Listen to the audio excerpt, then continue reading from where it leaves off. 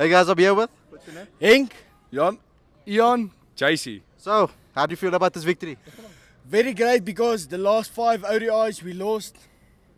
We actually won one of the six.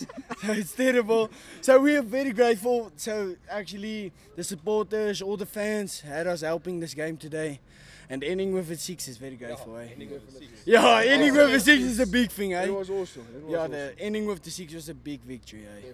So, which performance did you enjoy more, JP's or Hendrik Klaasen? Klaasen! Klaasen! Yeah, Definitely Klaasen JP fan. I'm a big JP fan, so I enjoy these. So, what did you like more about JP's? No, the, just the overall performance. He's a great ki- cricket player overall. I must say about JP, he's a he's, he's a very professional player, um, classy guy. Actually, classy, but no, he's a classy guy. J, uh, JP is a very good captain. When Faf is not here, AB is not here, and yeah, but Klaasen's performance today was epic. You think he makes a, a strong fight for the World Cup team? No, definitely, definitely. Yeah. I actually, I actually stretched for Quinton de Kock's part because yeah, uh, yeah. Women's comment, sorry guys. That's what you wanted to say? Um, yay. Hi.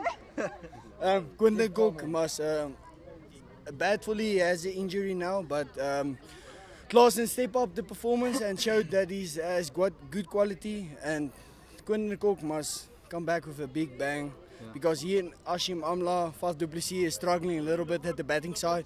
The bowling, I uh, respect all the bowling that was done here today, but Rabada was his discipline. He's costing South Africa a lot.